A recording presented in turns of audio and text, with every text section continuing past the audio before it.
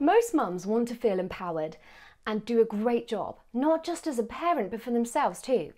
But as they have children dominating their focus, their visions remain lost in the back of their mind.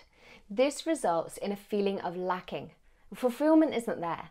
And that woman, beyond the mum, seems to be fading away or screaming to be seen and heard for what she is truly made of. You end up convincing yourself that you just can't have both. You can't be a great mum and achieve the ultimate fulfillment with your dreams or professional goals as well. But that's not true.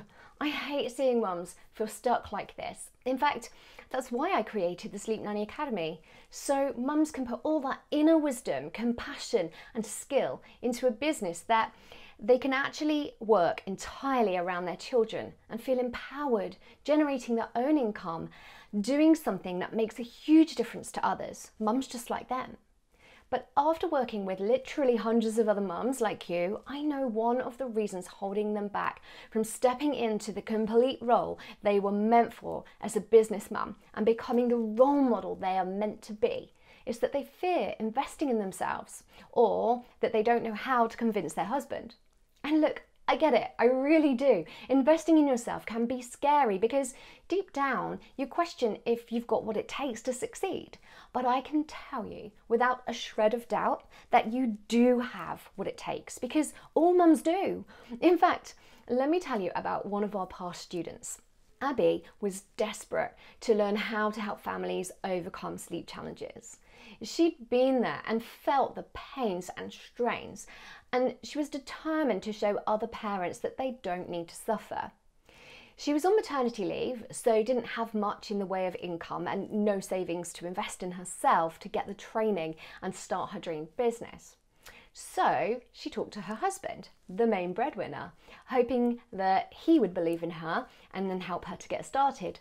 But no, he wouldn't approve her investment. Why not? Well, he clearly couldn't have believed in her ability to make an impact and earn that investment back over and over again. We've had other applicants for Sleep Nanny Academy come up against the same barrier and they let their dreams, their ambitions just slip aside. But did Abby leave it there? Nope. She came back to us and said, My husband doesn't approve, but I know I can do this and I'm going to prove it to him. So she took out a credit card and signed up right then and there. Now, one of the reasons why I share this story with you is because Abby was actually fueled by even more determination to prove herself to her husband that she went on to earn back that investment, pay off her credit card before accumulating any interest, and she continues to earn an income while making a big impact every single month. Now, you might be thinking that this was a fluke, but we have countless other students that have done this as well just like Vicky.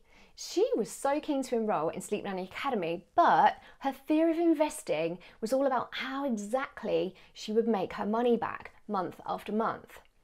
She and her husband were the analytical type.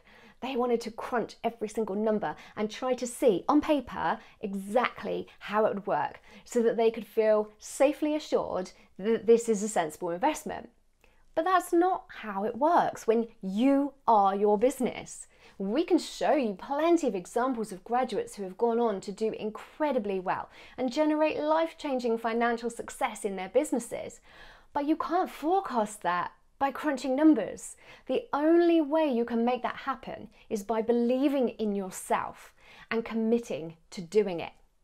Luckily for Vicky, her husband's belief in her was stronger than his fear, and he stopped with the number crunching and overanalyzing, and he encouraged her to go for her dreams. She did. What you need to realize is that Abby and Vicky are no different than you. They weren't born with anything that you don't have. The only thing that separates them from you is they don't let fear control the outcome of their life. They trusted and believed in their abilities, in their instincts, that this was the right thing to do for them and for their family. So, if you're ready to unleash all that you're keeping locked inside, I have a special treat for you to help you overcome any fear of investing in yourself. Take my completely free, zero cost introductory training on how to become a confident and trusted sleep consultant and find out before investing if you believe in yourself to do this.